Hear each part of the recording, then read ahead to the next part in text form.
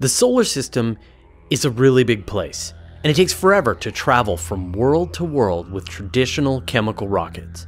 But one technique developed back in the 1960s might provide a way to dramatically shorten our travel times nuclear rockets. Of course, launching a rocket powered by radioactive material has its own risks as well. Should we attempt it? Let's say you wanted to visit Mars using a chemical rocket. You would blast off from Earth and go into low Earth orbit. Then, at the right moment, you'd fire your rocket, raising your orbit from the Sun. The new elliptical trajectory you're following intersects with Mars after about eight months of flight. This is known as a Hohmann transfer, and it's the most efficient way that we know to travel in space using the least amount of propellant and the largest amount of payload. The problem, of course, is the time it takes. Throughout the journey, astronauts will be consuming food, water, air, and be exposed to the long term radiation of deep space.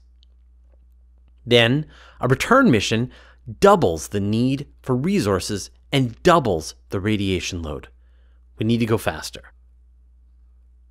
It turns out NASA has been thinking about what comes next after chemical rockets for almost 50 years nuclear thermal rockets. They definitely speed up the journey, but they're not without their own risks, which is why you haven't seen them. But maybe their time is here. In 1961, NASA and the Atomic Energy Commission worked together on the idea of nuclear thermal propulsion, or NTP. This was pioneered by Wernher von Braun, who hoped that human missions would be flying to Mars in the 1980s on the wings of nuclear rockets. Well, that didn't happen. But they did perform some successful tests of nuclear thermal propulsion and demonstrated that it does work. A chemical rocket works by igniting some kind of flammable chemical and then forcing the exhaust gases out a nozzle. Thanks to good old Newton's third law, you know, for every action there's an equal and opposite reaction, the rocket receives a thrust in the opposite direction from the expelled gases. A nuclear rocket works in the same way. A marble sized ball of uranium fuel undergoes the process of fission, releases a tremendous amount of heat. This heats up a hydrogen gas to almost 2500 degrees Celsius, which is then expelled out the back of the rocket at high velocity. Very, very high velocity, giving the rocket two to three times the propulsion efficiency of a chemical rocket. Remember the eight months I mentioned for a chemical rocket? A nuclear thermal rocket could cut the transit time in half, maybe even 100 day trips to Mars, which means less resources consumed by the astronauts and a lower radiation load. And there's another big benefit. The thrust of a nuclear rocket could allow missions to go when Earth and Mars aren't perfectly aligned. Right now, if you miss your window, you have to wait another two years but a nuclear rocket could give you the thrust to deal with flight delays. The first tests of nuclear rockets started in 1955 with Project Rover at the Los Alamos Scientific Laboratory. The key development was miniaturizing the reactors enough to be able to put them on a rocket. Over the next few years, engineers built and tested more than a few dozen reactors of different sizes and power outputs. With the success of Project Rover, NASA set its sights on the human missions to Mars that would follow the Apollo landers on the moon. Because of the distance and flight time, they decided nuclear rockets would be the key to making the missions more capable. Nuclear reactors aren't without their risks, of course. A reactor on board would be a small source of radiation to the astronaut crew on board. This would be outweighed by the decreased flight time. Deep space itself is an enormous radiation hazard, with the constant galactic cosmic radiation damaging astronaut DNA.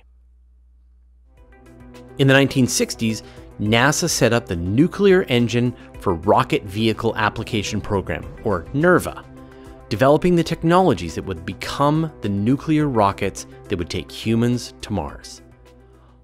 They tested larger, more powerful nuclear rockets in the Nevada desert, venting the high velocity hydrogen gas right out into the atmosphere.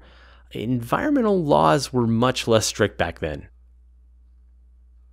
The first Nerva NRX was eventually tested for nearly two hours, with 28 minutes at full power. And a second engine was started up 28 times and ran for 115 minutes. By the end, they tested the most powerful nuclear reactor, the Phoebus 2A reactor, capable of generating 4,000 megawatts of power, thrusting for 12 minutes. Although the various components were never actually assembled into a flight ready rocket, engineers were satisfied that a nuclear rocket would meet the needs of a flight to Mars. But then, the US decided that it didn't want to go to Mars anymore. They wanted the space shuttle instead. The program was shut down in 1973, and nobody tested nuclear reactors since then. But recent advances in technology have made nuclear thermal propulsion more appealing.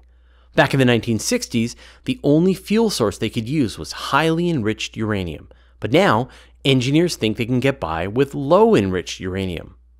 This would be safer to work with and would allow more rocket facilities to run tests. It would also be easier to capture the radioactive particles in the exhaust and properly dispose of them. This would bring the overall costs of working with the technology down. On May 22, 2019, US Congress approved $125 million in funding for the development of nuclear thermal propulsion rockets. Although this program doesn't have any role to play in NASA's Artemis 2024 return to the moon, it, quote, calls upon NASA to develop a multi year plan that enables a nuclear thermal propulsion demonstration, including the timeline associated with the space demonstration and a description of future missions and propulsion and power systems enabled by this capability. End quote. So money is flowing back into nuclear rocket research. But what about fusion rockets? When do we get to see Epstein drives from the expanse? Well, there's good news on that front too, and I'll talk about that in a second. But first, I'd like to thank Andrew Stewart, Justin Olson, Jessica Feltz, A.D. James, Jeremy Joswick, and the rest of our 809 patrons for their generous support. They contribute so that you can see these videos and we can make them freely available to anyone who wants to learn about space. Join our community at patreon.com slash universe today and get in on the action. Nuclear fission is one way to harness the power of the atom. Of course, it requires enriched uranium and generates toxic radioactive waste. What about fusion, where atoms of hydrogen are squeezed into helium, releasing energy? The sun has fusion worked out thanks to its enormous mass and core temperature, but sustainable, energy positive fusion has been elusive for us puny humans. Huge experiments like ITER in Europe are hoping to sustain fusion energy within the next decade or so. And after that, you can imagine fusion reactors getting miniaturized to the point that they can serve the same role as a fission reactor in a nuclear rocket. But even if you can't get fusion reactors to the point that they're net energy positive, they can still provide tremendous acceleration for the amount of mass. And maybe we don't need to wait decades. A research group at the Princeton Plasma Physics Laboratory is working on a concept called the direct fusion drive, which they think could be made ready sooner. It's based on the Princeton Field Reversed Configuration Fusion Reactor developed in 2002 by Samuel Cohen. Hot plasma of helium 3 and deuterium are contained in a magnetic container. Helium 3 is rare on Earth and valuable because fusion reactions with it won't generate the same amount of dangerous radiation or nuclear waste as other fusion or fission reactors. As with the fission rocket, a fusion rocket heats up a propellant to high temperatures and then blasts it out the back, producing thrust. It works by lining up a bunch of linear magnets that contain and spin very hot plasma. Antennae around the plasma are tuned to the specific frequency of the ions and create a current in the plasma. Their energy gets pumped up to the point that the atoms fuse, releasing new particles. And these particles wander through the containment field until they're captured by the magnetic field lines and they get accelerated out the back of the rocket. In theory, a fusion rocket would be capable of providing 2.5 to 5 newtons of thrust per megawatt with a specific impulse of 10,000 seconds. So compare this to 850 from fission rockets and 450 from chemical rockets. It would also be generating electricity needed by the spacecraft far from the sun, where solar panels aren't very efficient. A direct fusion drive would be capable of carrying a 10 ton mission to Saturn in just two years, or a 1 ton spacecraft from Earth to Pluto in about four years. New Horizons needed almost 10.